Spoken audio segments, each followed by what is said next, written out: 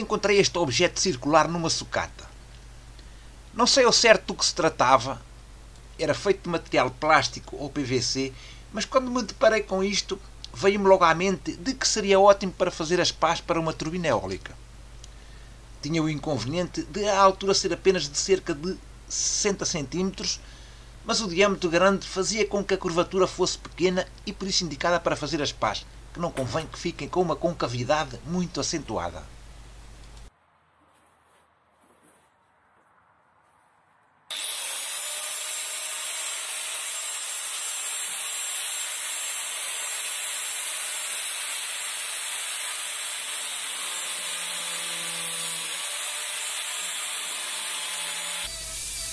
Calculei a medida daquela peça circular e fiz o corte das pás com cerca de 20 cm de largura média e 60 cm de comprimento.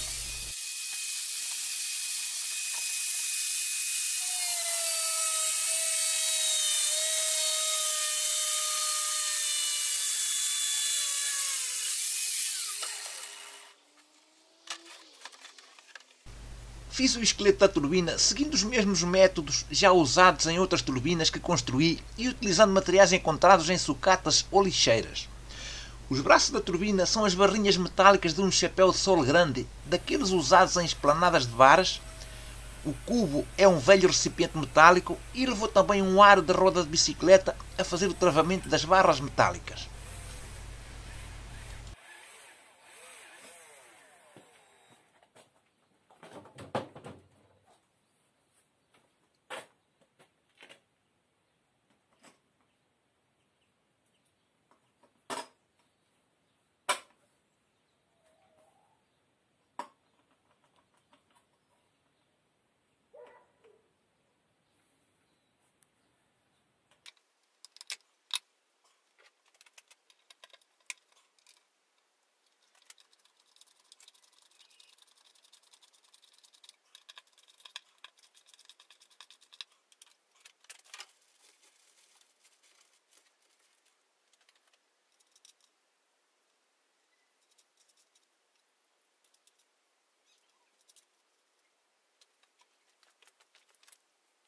Aproveitei um rebordo que aquele objeto tinha na parte superior para dar mais fortaleza à parte superior das pás, como é possível ver nestas imagens, e o resultado final ficou muito bom, tanto no design como na segurança para aguentar ventos fortes.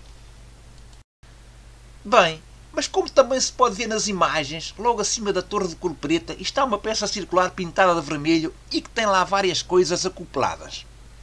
Tem um sistema de regulação de orientador tem no cimo o cubo de rolamentos onde funciona o eixo da turbina, ao qual está acoplada a turbina da parte da frente, e na parte de trás tem, também agarrada ao eixo, uma polia de máquina de lavar e uma correia que transmite as rotações da turbina para um multiplicador de rotações que, por sua vez, transmite as rotações aumentadas para um motor de radiador de carro. Desse multiplicador de rotações já falei em outro vídeo do canal.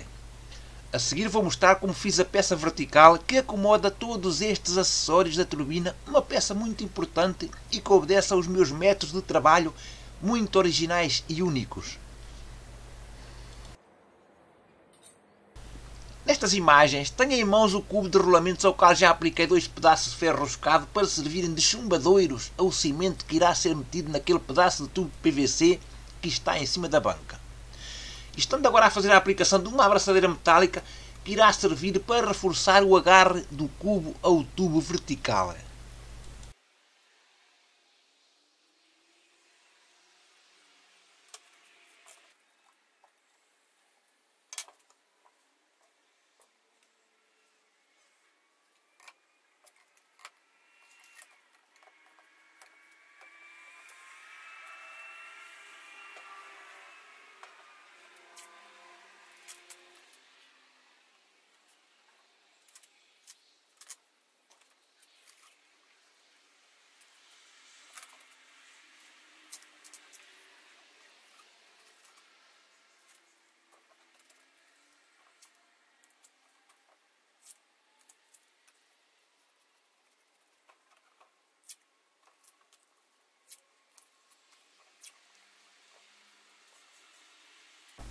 Agora estou a fazer o enchimento com argamassa de cimento do tubo vertical ao qual já está acoplado o cubo de rolamentos, no fundo apertado no torno.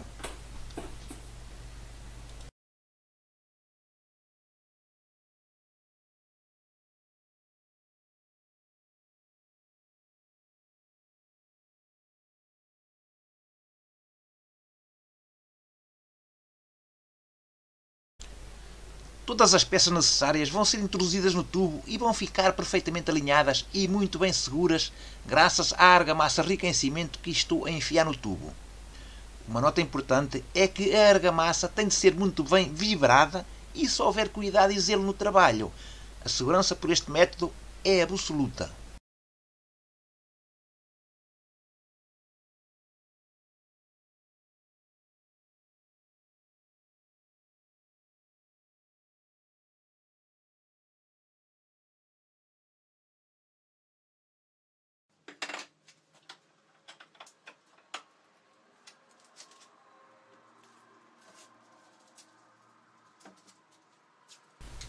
Agora, a massa já secou e chegou à altura de aplicar o sistema automático da posição do orientador de vento.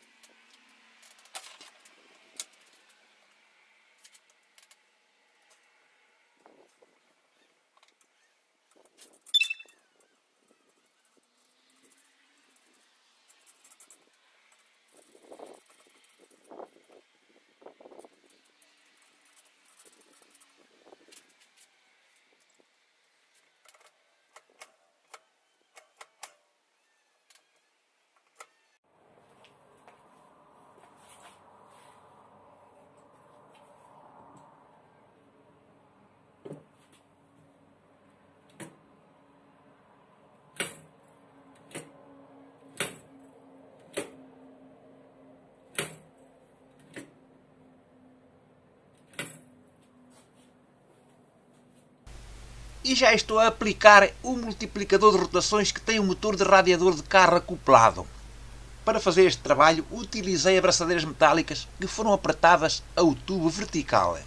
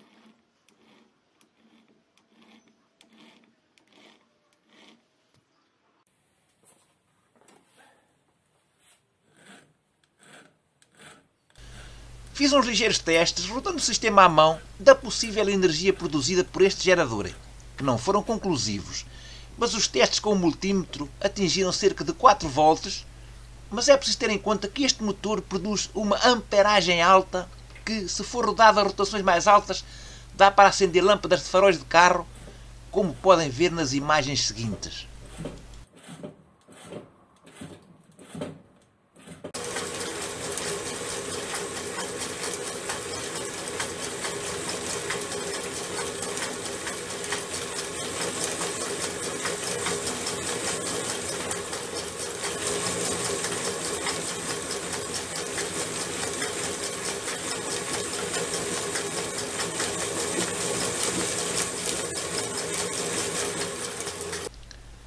Chegou à altura de colocar o sistema na minha torre de experiências.